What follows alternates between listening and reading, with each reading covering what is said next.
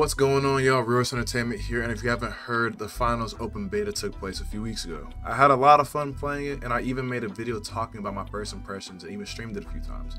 Be sure to check me out on Twitch at RussRacks, link in the description box below. But just because I have fun doesn't mean that the game is without a few things that can be improved. So today we're going to be going over the top four things that I think the finals needs to fix and or add to continue its successful launch. But before we get into the video, don't forget to hit the like button and subscribe for more content. Now that the intro's out the way, let's head into number one. Number one, improve the anti-cheat.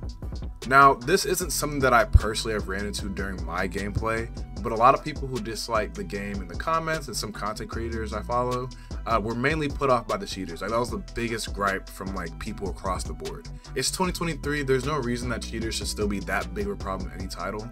However, I have seen them focus on this in the open beta in one of their first like big patches for the game. So the good news is they are listening to community and working resolving the issue.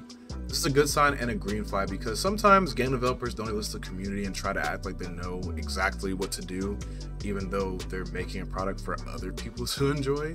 And usually this results into them just not really hearing the community out. So it's good to see that the developers of the finals are already listening to their players in the beta and trying their best to resolve their major concerns and gripes. But yeah, just fix the anti-cheat, beef it up because again, there was a good portion of people that complained about it, but me and a lot of people I was say majority of people did not really have an issue with cheaters. So uh, it just, you know, just some polishing with the anti-cheat and they should be good on this one. Number two, decrease the time to kill across the board.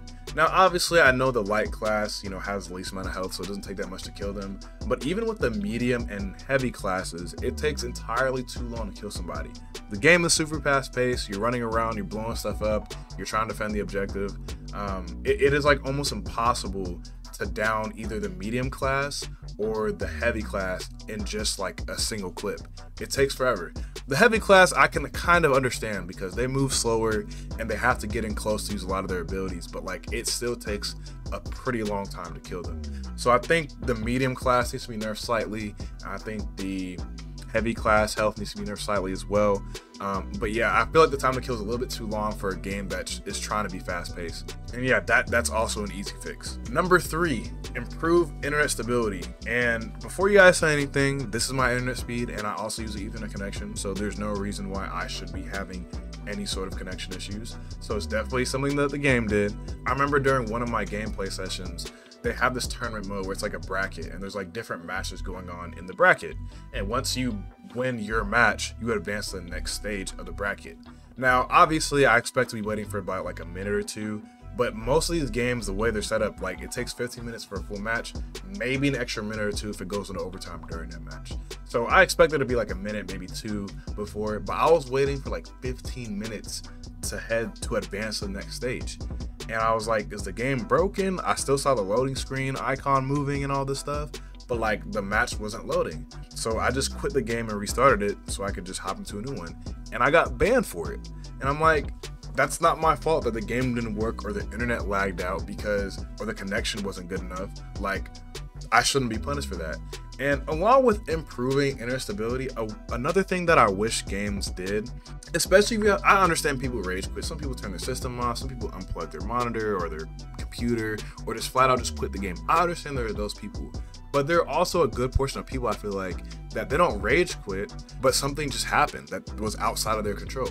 Maybe the power went out, maybe the internet connection uh, lagged out for a minute, uh, maybe the game itself is just not working and they have to restart it to run. Like, I feel like there should be a way to, like, not punish players who have issues that are outside of their control. And I wish more games would do that. So it's not really a shot at the developers or the people who make the finals, but I just wish that was something that uh, a lot of multiplayer competitively uh, a lot of competitive multiplayer based games would do. Like if it's outside of your control, you shouldn't be punished.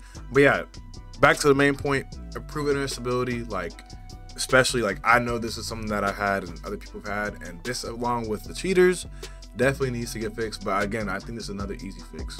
And last but not least, number four. And some of you guys might think this is a hot take or just maybe just don't think this is necessary, but I personally like to see this. And number four is they need to add in some more game modes.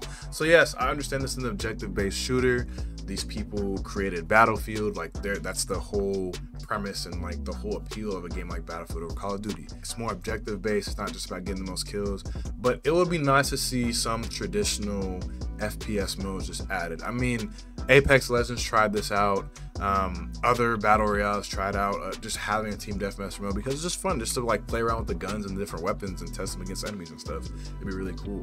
And also, these are the creators of Battlefield. There are multiple objective-based modes in the Battlefield franchise, and honestly, in a game that's kind of taking the FPS market by storm, not only do you already have kind of like an original, unique game mode with like the with like the the cash in, cash out system. Like the whole objective of the game is just to like pretty much deposit cash and defend it so nobody steals your money. Like if you add in some more game modes, you're gonna have I won't say a chokehold on the FPS market, but like you're gonna have a lot of people coming to your games because people are shitting on Call of Duty, bro. Like a lot of people are kind of fed up with a lot of these major titles and looking for something new. So if you're able to like at the core of your game, you already have like a unique game mode. But if you add in something familiar for players that are just fans of FPS in general, you'll invite, you'll attract a lot more people to play your game. And I think it would just be fun. It would be fun and it'd be good for the success of this game but yeah, these are the top four things that I think the finals needs to fix. Um, it's a really great game, and again, these aren't anything major. It's more polishing, and that's what the beta is for. Like they had the beta, now they're just taking player feedback.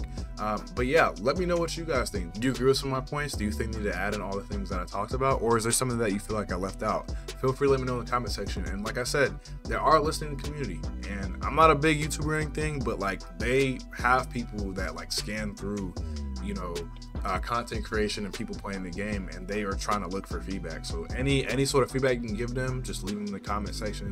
Not only does it help my engagement but like it could help the success of this game. Because i really like this game and i'm tired of battle royales. I'm tired of call of duty bro. I want a new fps to play that's fun and it's a free to play game. So let's let's try to let's try to help this game succeed bro. It's, it's a really fun game uh, but yeah, thank you guys for watching the video. If you made it this far, be sure to leave a like and subscribe to the channel. If you're new, it really helps me out. But, but yeah, in conclusion, the open beta was a success for this game and I'm pretty excited and optimistic about the full release. I cannot wait. But while you and I are waiting for the release, feel free to check out the rest of my content in the meantime. I make this really cool series called Steam Hidden Gems where I check out underrated games on Steam that don't break the bank that you should check out. Again, thanks for watching, and I'll see you guys on the next one. Peace.